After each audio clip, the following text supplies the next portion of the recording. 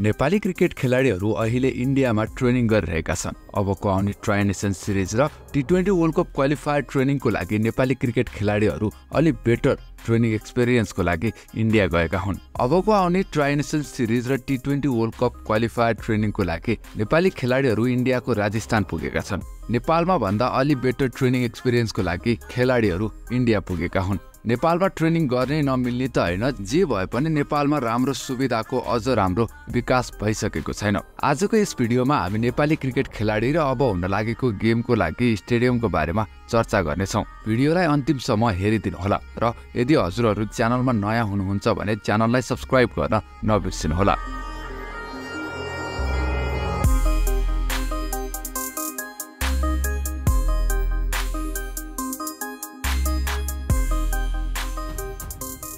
Nepal cricket सङ्घ क्यानले T twenty विश्वकप एसिया छनौटको तयारीमा युए र हङकङसँग त्रिकोणात्मक सिरिज खेल्न लागेको छ। नेपाल युए र हङकङ बीच असोज तिसदेखि कार्तिक नौ गतेसम्म यानि कि अक्टोबर सत्रदेखि अक्टोबर छब्बिस गतेसम्म टियु क्रिकेट मैदानमा ट्राई नेसन सिरिज आयोजना हुने भएको छ। नेपालले विश्वकप छनौट अघि उक्त तयारी गर्न लागेको हो। त्रिकोणात्मक सिरिज डबल राउन्ड रोबिनको आधारमा हुनेछ अर्थात् सबै टोलीले एकअर्कासँग समान दुई खेल खेल्नेछन्। शीर्ष दुई टोलीले फाइनल खेल्नेछन्। फाइनल टियु क्रिकेट मैदानमा हुनेछ। अन्य सबै खेल मुलपानी क्रिकेट मैदानमा हुनेछन्।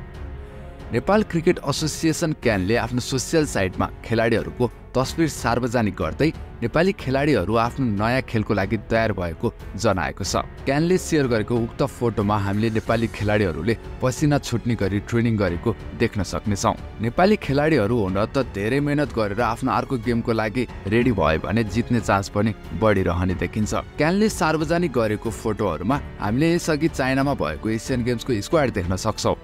विनोद भण्डारी सुन्दीप जोरा सागर ढकाल लगायतका प्लेयरहरूले इन्डियाको राजस्थानको ग्राउन्डमा ट्रेनिङ गरिरहेको हामीले देख्न सक्नेछौँ। यसको मतलब अब हुन लागेको ट्राइनेसन सिरिजमा भने धेरै बदलाव नभई स्क्वाड तिनै प्लेयर हुने धेरै चान्स रहेको छ। स्क्वाडको बारेमा हामी पछि नै चर्चा गर्नेछौँ। सन्दीप लामिछाने भने ट्रेनिङको लागि इन्डिया पुगेका छैनन्। उनको चलिरहेको केसले गर्दा सन्दीप यो पल्ट पनि खेलाडीहरूसँग ट्रेनिङको लागि भारत जान छुटेका हुन्। सन्दीपले यदि यही अनुसारले आफ्नो क्रिकेट करियर अघि बढाउँदै गयो भने उनको खेल बिस्तारै नराम्रो बन्दै जान्छ। मेन्टल प्रेसरको कारण नराम्रो हुन सक्छ। वर्षदेखि चल्दै आएको केसको अझसम्म पनि सुनवाई हुन सकेको छैन र उनी तनावमा पनि देखिन्छन्। सन्दीपलाई आफ्नो अपकमिङ खेलको लागि नेपाली खेलाडीसँग साथमा निस्किन पनि दिइएको छैन। हजुरहरूलाई सन्दीपमाथि गरेको सरकारको यो विषयलाई लिएर केही भन्नु छ भने कमेन्ट सेक्सनमा आफ्नो प्रतिक्रिया दिन सक्नुहुनेछ। अबको केही दिनमा ट्राइनेसन सिरिज हुँदैछ। नेपाली खेलाडीहरू अहिले ट्रेनिङको लागि भारतको नागपुर गएका छन्। नेपाली टोली घरेलु मैदानमा आयोजना हुने महत्त्वपूर्ण प्रतियोगिताको तयारीका लागि एकाडेमीमा दस दिने ट्रेनिङको लागि भारत पुगेका हुन्। यो ट्रेनिङ सकिएपछि नेपालले हङकङ र युएसँग त्रिकोणात्मक सिरिजमा सहभागिता जनाउनेछ।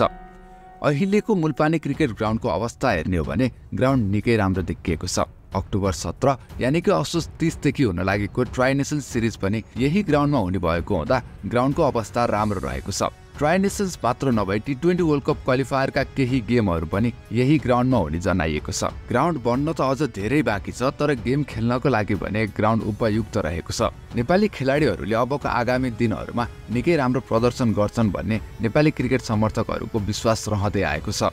संयुक्त राष्ट्र अमेरिका र वेस्ट इन्डिजले होस्ट गर्न लागेको टी ट्वेन्टी वर्ल्ड कपमा नेपालले पनि सहभागिता जनाउने मौका पाएको छ। एसियातर्फको वर्ल्ड कप क्वालिफायर्स नेपालको आफ्नै घरेलु मैदानमा हुने भएको हुँदा नेपाललाई त्यो सिरिज जित्न सहज हुने पनि अनुमान गरिएको छ। नेपालमा हुन लागेको टुर्नामेन्टको स्केड्युलको कुरा गर्दा नेपाल त्यो टुर्नामेन्टको ग्रुप एमा परेको छ। टी ट्वेन्टी वर्ल्ड कप क्वालिफायरको बारेमा हामीले छुट्टै यस च्यानलमा भिडियो बनाएका छौँ। यदि हेर्न इच्छुक हुनुहुन्छ भने च्यानलमा गएर भिडियो हेर्न सक्नुहुनेछ। पछिल्लो समय नेपालले जित हासिल गर्न नसके भने नेपालको क्रिकेटको पर्फर्मेन्स भने दिन प्रतिदिन बढ्दै गएको छ र आशा छ नेपालले यो टी ट्वेन्टी वर्ल्ड कपमा पनि आफ्नो स्थान बनाउनेछ। नेपालले पहिलोचोटि दुई हजार चौधमा टी ट्वेन्टी विश्वकप खेलेको थियो भने त्योभन्दा पछाडि नेपाल विश्वकप छनौटमा असफल हुँदै आएको छ। नेपालको लागि अब फेरि अर्को मौका हुनेछ विश्वकपमा सहभागी हुने यसपटक नेपालले आफ्नो घरेलु मैदानमा राम्रो प्रदर्शन गरे नेपाल दस वर्षपछि फेरि विश्वकपमा सहभागी हुनेछ। त्यही भएर पनि नेपालको लागि यी टुर्नामेन्ट्सहरू एकदम महत्त्वपूर्ण रहेका छन्। नेपालको अहिलेको गेमको अवस्था हेर्दा हजुरहरूलाई नेपालले के गर्ला जस्तो लाग्ला? कि नेपाल टी ट्वेन्टी विश्वकप क्वालिफायरमा सेलेक्ट होला? अब हुन लागेको ट्राइनेसन सिरिजमा नेपालले आफ्नो जित हात पार सक्ला? कमेन्ट सेक्सनमा आफ्नो प्रतिक्रिया दिन नबिर्सिनुहोला। तर अहिले टी ट्वेन्टी भन्दा अघि नेपालले टी ट्वेन्टी विश्वकप एसिया छनौटको तयारीमा युए र हङकङसँग त्रिकोणात्मक सिरिज खेल्न लागेको छ। नेपाल युए र हङकङ बीच असोज तिसदेखि कार्तिक नौ गतिसम्म टियु क्रिकेट मैदानमा आयोजना हुने भएको हो भने नेपालले विश्वकप छनौट अघि उक्त तयारी गर्न लागेको हो। त्रिकोणात्मक सिरिज डबल राउन्ड रोबिनको आधारमा हुनेछ अर्थात् सबै टोलीले एकअर्कासँग समान दुई खेल खेल्नेछन्। शीर्ष दुई टोलीले फाइनलमा खेल्नेछन्। फाइनल ट्यु क्रिकेट मैदानमा हुनेछ भने अरू सबै खेल मुलपानी क्रिकेट ग्राउन्डमा हुनेछ। अबको केही दिनमा ट्राइनेसन सिरिज हुँदैछ। नेपाली खेलाडीहरू अहिले ट्रेनिङको लागि भारतको नागपुर गएका छन् भने सन्दीप लामिछाने ट्रेनिङको लागि छुट्टिएका छन्। नेपाली टोली घरेलु मैदानमा आयोजना हुने महत्त्वपूर्ण प्रतियोगिताको तयारीको लागि एकाडेमीमा दस दिने ट्रेनिङको लागि भारत पुगेका हुन्। यो ट्रेनिङ सकिएपछि नेपालले हङकङ र युएसँगको त्रिकोणात्मक सिरिजमा सहभागिता जनाउनेछ।